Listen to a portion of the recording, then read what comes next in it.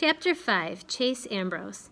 Every time I see a little girl, it brings me back to one from my memory the blonde girl with the blue dress trimmed with white lace.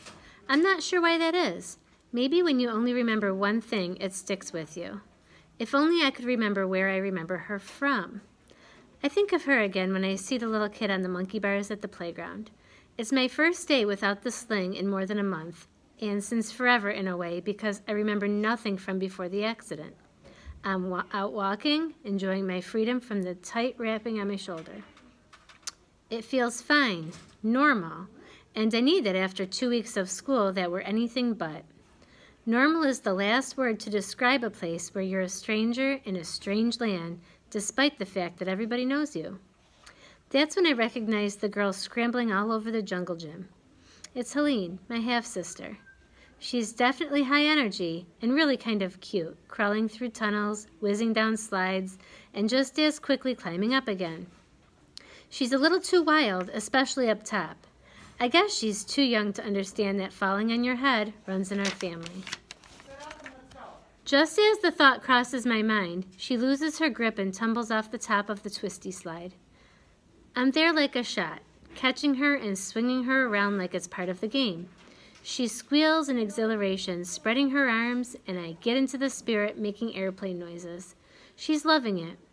I'm doubly thrilled because my shoulder is holding up fine. The two of us are having a great time until she looks down and sees who's got her. Mommy! She screamed. Her scream carries all around the park. It's okay, Helene. It's me, Chase, your brother. I want to go down. Now she's red in the face and crying. I set her on the ground and watch as she runs off to join Corinne, who's hustling our way. Great. Dad's family already has a problem with me, and now they're going to think I've been terrorizing their daughter. Sorry, I mumble. I didn't mean to scare her. I saw what happened. Thank you for catching her. There's nothing wrong with what she's saying. It's the way she says it. Too polite, too distant, like I'm a stranger instead of her stepson. Helene has her face buried in her mother's sweater and refuses to look at me. I guess she doesn't like me very much, I comment. Corinne softens. She's just a little afraid of you. Afraid of me? What could I have done to make a four-year-old freak out every time I come near her? Before I can finish the thought, a loud horn honks. A panel truck pulls up to the curb. Ambrose Electric is stenciled on the side. The driver's side window rolls down and my dad sticks his head out.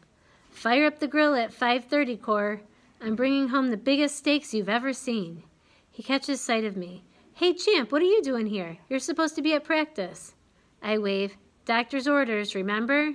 Your arm's fine. Yeah, pretty good. I point to my head. It's the concussion. He looks disgusted. Doctors. They'll keep you in a bubble, bubble wrap the rest of your life if you let them. Well, how about dinner then? I bet you could use a good steak. You're not going to get your strength back on the rabbit food mom's slinging at you. Thanks. Some other time, I hesitate. I saw your state championship picture on the principal's wall. I didn't know. I mean, I knew at some point, but he laughs with delight. There are a lot of athletes out there, but only a few of us can make it in the rain. There's something special about Ambrose men, champ. Don't let your mother coddle it out of you like she did with your brother. He drives off, his truck backfiring as he pulls away from the curb. Bye, Daddy, calls Helene. Bye, Helene, I say to her. as soon as we make eye contact, she looks away. I'm definitely famous at Hiawassee Middle School. The part I can't figure out is whether I'm famous good or famous bad. The athletic program is my home here, or at least it was before I got hurt. All my friends seem to be jocks, mostly football players. I guess they were pretty worried when they heard about my accident. I pick up on the occasional grumbling that I have to miss the season, but mostly people are just relieved that I'm okay. The Hiawassee Hurricanes are kind of the kings of the school. It's a pretty good role to come out of a coma and fall straight into. Since I'm the former captain, I'm almost like the king of kings. To be honest, though, it's hard to picture how I got along with them so well. They're loud, kind of obnoxious, and even though they're really tight, they spend a lot of time shoving and punching each other. Insults constantly fly between them. They probably don't mean it, but it can get pretty ugly. When I was like that, I was like that too when I was young. You know me. Did I greet my closest friends by pointing out imaginary stains on their shirts so I could slap their faces? Did I insult their moms, their grandmothers, and their grandmothers' grandmothers? Probably. Even so, that was then and this is now. I've lost a step, maybe because of my concussion. I can't keep up with those guys anymore. Aaron and Bear shield me from the worst of it. Dudes, they'll say, dial it down. Our boy's injured. Or they'll step in front of me to absorb a friendly punch or forearm smash. I appreciate their help. Still, it doesn't change the fact that I'm not the chase I used to be. I almost wish they'd stop trying to protect me. I hate being weak. The other guys are treating me like I'm strong. I'm not, I get that.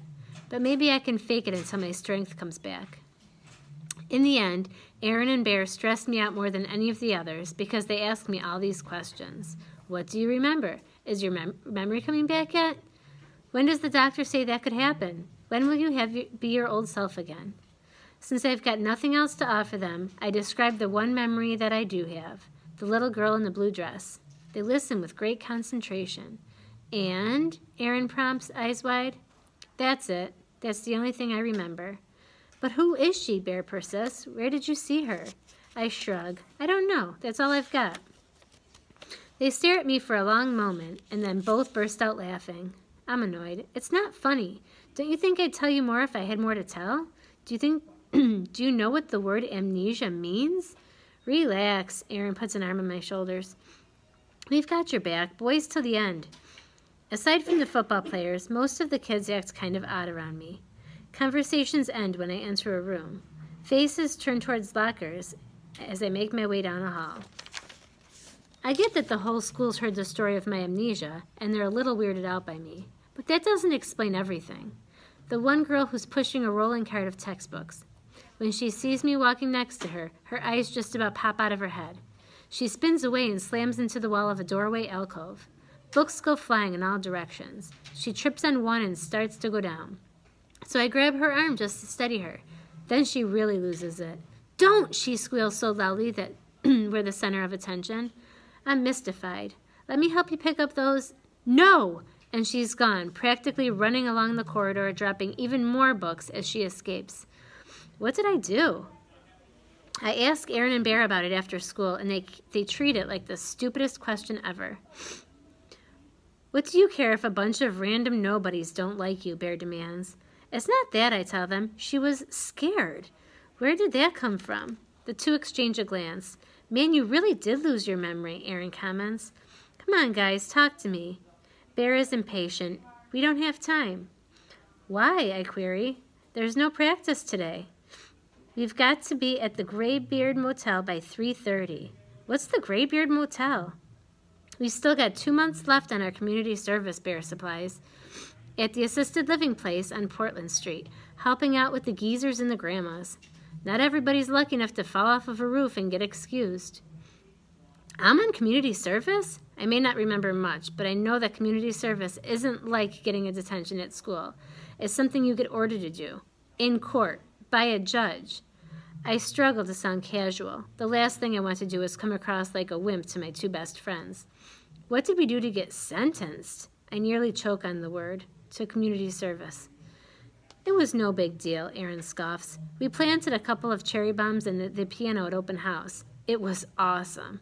Cops are such sticklers about property damage, like there's a great piano shortage in the world. So we got, I'm nonchalant, but it takes some doing. Arrested?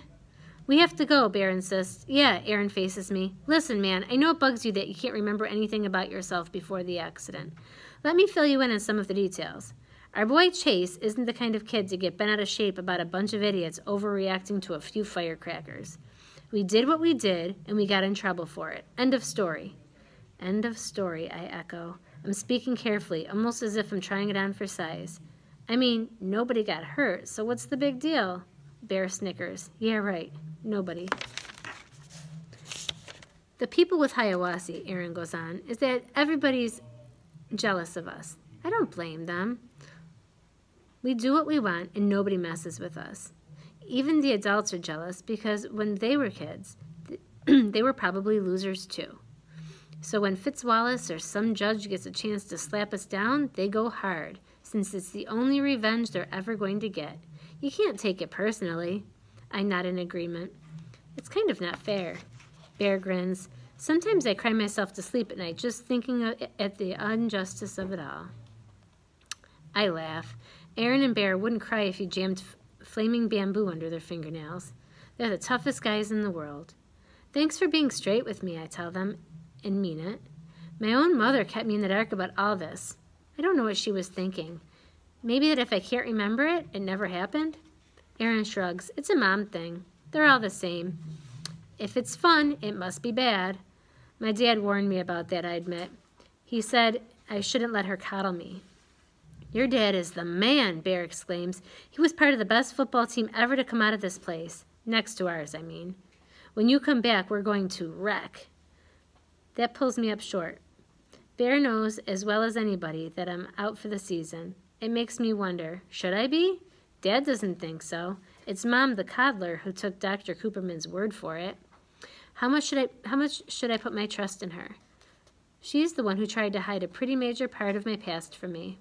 If it wasn't for Aaron and Bear, I might never have figured it out. Who knows what else she's holding back? When Mom gets home from work that day, I'm there at the front door to throw it in her face. Where do you get off? She looks totally bewildered. I forge on, You were so devastated when I got amnesia, but not too devastated to pass up a little editing job in my life. Editing job? Don't you think I have the right to know that Aaron Bear and I were arrested and sentenced to community service? She doesn't answer right away. She sets down her bag, shrugs out of her jacket, walks to the living room, and collapses wearily into a chair. At last she says, You've just been through an awful ordeal. How can it help your recovery if I tell you a lot of things that are just going to upset you? Things, I echo. You mean there are more? How many other nice little stories have you been keeping away from me? She seems genuinely sad. I'll love you and support you through the end of the world. You know that. I've always seen the good in you, Chase, and I believe that's the person you really are, deep down. But you've had your moments. I have a sickening vision of faces turning away from me, of kids shrinking back at my approach, fear in their body language. I think of that crazy girl who was angry enough to dump a ton of a tub of frozen yogurt over my head. What if she wasn't crazy after all? What if I deserved it? Then I think back to the conversation with Aaron and Bear. There are two sides to every story, and Mom is taking the opposite one. But that shouldn't surprise me. Her kid got in trouble. Major trouble, if the community service is any indication. Okay, it wasn't a very nice thing to do, I admit. But I don't understand why the school had to make such a big deal out of it. She stares at me. How can you, of all people, say that, say that after everything that's happened? Maybe because I don't remember everything that's happened, I shoot back. They were firecrackers, not grenades. It was a prank. My mother's expression becomes hard. Never mind the poor musician you practically put into cardiac arrest. The problem was the auditorium of people that thought they were under attack. It was pure luck that nobody got injured in the panic. I'm sure that's what Dr. Fitzwallace was thinking when he decided to bring in the police.